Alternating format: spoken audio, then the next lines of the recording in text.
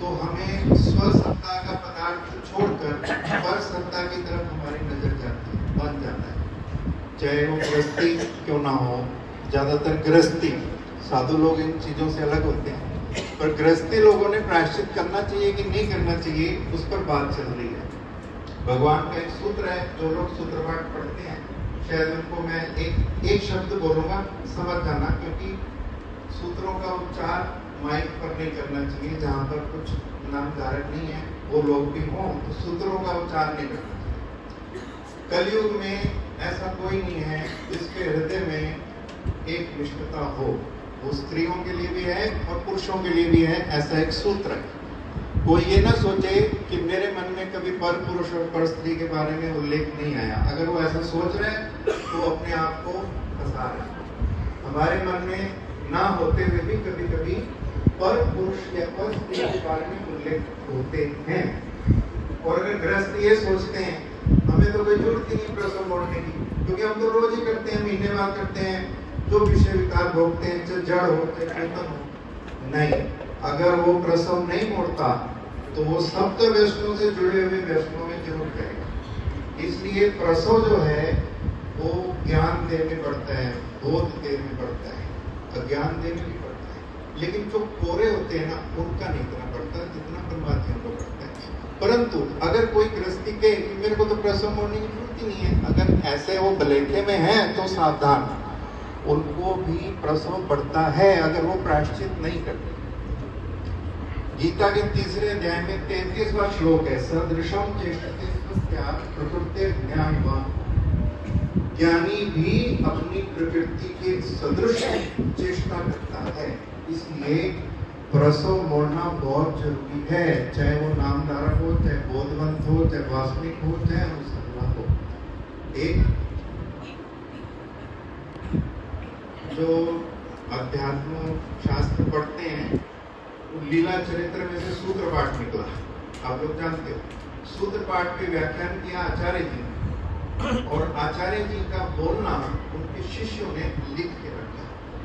उन सारे लिखे हुए कागजों पे जो लिखा है, उसको खरडा बोलते हैं हमारी ब्रह्म विद्या की भाषा कुछ सालों बाद हमारे पूर्वज श्री गुर्जर श्रीवास और सिद्धांत दोनों जनों ने मिल के उन कच्चे खंडों को इकट्ठा किया, उसकी बन गई स्थल पोथी स्थल पोथी को स्मृति तुल्य कहना चाहिए। कुछ लोग कहते हैं कि स्थल पोथी को इतना महत्व नहीं देना चाहिए। नहीं, गलत। श्रुति के बाद स्मृति है और स्मृति का ही रूप एक स्थल स्थल पोथी में जो लिखा है, उसको हम पक्ष बोलते हैं प्रविद्या की भाषा में। थर्टी नाइन नंबर का वचन है, फोर्टी एट नंबर का, आचार का वचन मैं नहीं बोलूँगा, आप लोग सूत्र पाठ खोलना, बाद में देखना। भगवान कहते हैं, कुछ बातें ऐसी हैं जिसका नाश नहीं होता। समझ जाओ इशारा। उस पक्ष में, उस टीका में एक पक्ष है। प्रयत्न दाटी मानते ऐसा पक्ष है जो लोग स्थल पोथी पढ़ चुके हैं, शायद उनको याद आ जाएगा वो पक्ष। उस पक्ष का अर्थ क्या है? कि अगर कोई प्रायश्चित करता है तो उसका एक बार के प्रायश्चित में दोषों का प्रसव नहीं होता। कोई ये सोचे कि हमसे तो दोबारा गलती होने वाली हम हमको प्रसव मोड़े अरे ऐसा नहीं है। आज अगर प्रसव मोड़ते हो तो सौ में से दो टक्के तुम्हारा प्रसव रुकेगा। और दोबारा करते हो तो पाँच टक्के रुकेगा। और ज़्यादा करते हो, ऐसा एक दिन आएगा कि तुम्हारे मन में दोषों का कोई उल्लेख नहीं होगा। वो ये सोचे, हमसे तो होती नहीं है ये क्रिया, हमसे तो ये दोष छूटता ही नहीं है। गुरु रूप क्रिया होती नहीं, दोष छूटता नहीं, प्रसव क्या का। गलत प्रायश्चित ये बहुत महत्व की विधि है इतनी महत्व की विधि है कि उसी स्थल को थी वन थर्टी नाइन का वचन है। कि किसी की प्रीति को हमने पात्र होना चाहिए। आप कभी बोलना स्थल को थी जो स्थल को थी जानते हैं, उसमें एक पक्ष है, बड़ा महत्व का। जो दुख नहीं करता जीतू जी परमा दिया उसको कोई बड़ा प्रमाद नहीं भरा फिर भी वो प्रमादिया कराया जाता है, जो प्रायश्चित नहीं करता। चाहे वो अनुसरला हो, चाहे वो बहुत बदलू अगर वो दुख करता है कौन सा दुख करता है उठते बैठते मेरे से हिंसा बढ़ती है। मानसिक वाचिक शारीरिक मेरे से बहुत दोष होते हैं। कोई कहेगा ये हमें तो विकार दोष माफ़ है। अरे भाई, विकार दोष छोड़ के और भी तो बहुत सारे दोष हैं गृहस्थियों के लिए। पाँच प्रकार की विधियाँ बताई हैं। समय थोड़ा है, इसको विश्लेषण करना है तो बहुत समय जाएगा। संक्षेप में, हम कहीं ना कहीं पाँच अविधियों में फंसे हुए हैं। चाहे वो गृहस्थी हो चाहे नवा साधु को ना हो।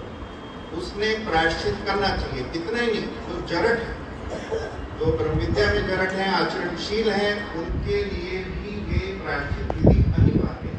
कोई कहेगा कि मेरे तो प्रश्न सारे मुड़ गए प्रश्न मुड़ गए तो पिछली सृष्टि में उदाहरण तो नहीं हो गया हम क्यों भटक रहे हैं प्रश्न मोड़ना ही पड़ेगा, उसके लिए प्रायश्चित करते रहना चाहिए। कोई कहेगा, प्रायश्चित नहीं करने की ज़रूरत, क्योंकि हम तो फिर से वही दोष करते हैं। अरे, थोड़ा बहुत तो मैल निकलेगी। कपड़े को धोते हैं तो फिर मैला होता है, फिर धोते हैं, फिर मैला होता है। तुम एक बार धोके कपड़े फेंक देते हो क्या? नहीं ना फेंकते।